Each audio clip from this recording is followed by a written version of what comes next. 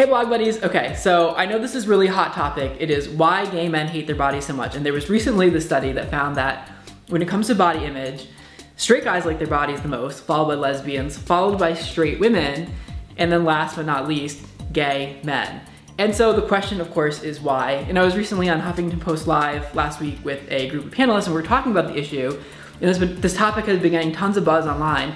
But the thing is, like, I really don't think that anyone's getting it right. And yes, by the way, I am wearing a shirt for this video because I figured it'd be a little disingenuous if I'm like bouncing around naked when we're talking about body image. Not that the two can't go hand in hand, but I mean, it's kind of like talking about obesity while you're eating a Big Mac. So for gay men, I really think it's this perfect storm. And a lot of people, the discussion has kind of surrounded that it is in response to the trauma of coming out and that like gay guys are really just trying to fit in and so this is what we do. But I don't really buy that. And I think that if we were trying to fit in, with two thirds of Americans being overweight or obese, we would be trying to get beer bellies, not six packs. Having said that, yes, I think there is something to be said for the experience of being gay and the discrimination you face or being rejected by your family or friends or being told by the government that you are less than.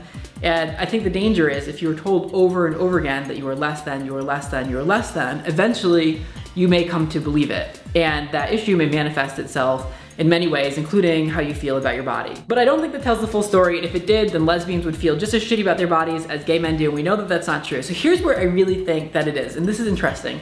I don't think that gay men objectify other men's bodies any more than straight men objectify women's bodies. The difference is that for gay guys, the bodies that we objectify aren't just someone else's, they're also our own. We happen to live in male bodies. And so I know that if, for example, I'm attracted to guys that are fit and athletic, then when, because I want that in other people, when I look into the mirror, I see myself in a male body, I'm gonna wanna create that in myself. So it's really this like double whammy. And for a straight guy, like he might value big old titties on some girl, but he's not gonna go to the doctor's office and get big old titties on himself because he values that in someone else. So I think that is where it is different and I think that's where it gets especially bad and especially tricky for gay guys. The other thing is, and I know that I'm totally gonna get shit for this, but there are a lot of gay couples, not all of them, but there are a lot of gay couples uh, in the gay community that are very open about the openness of their relationship. And I'm sure that this happens with straight couples. It is certainly talked about a lot less,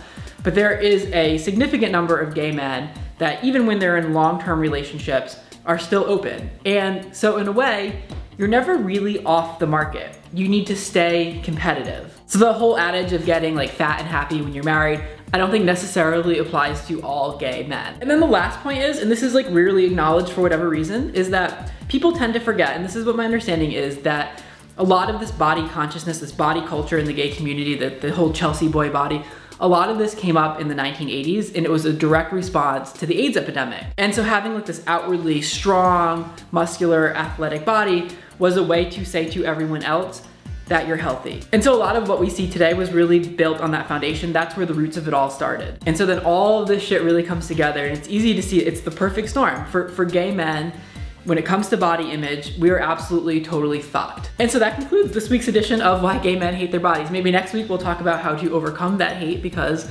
as they say, where there are great challenges, there are also great opportunities. so, or some shit like that. Anyway, I would love to hear what you think in the comments below why gay men hate their bodies and I will talk to you guys soon. I love you. Peace out.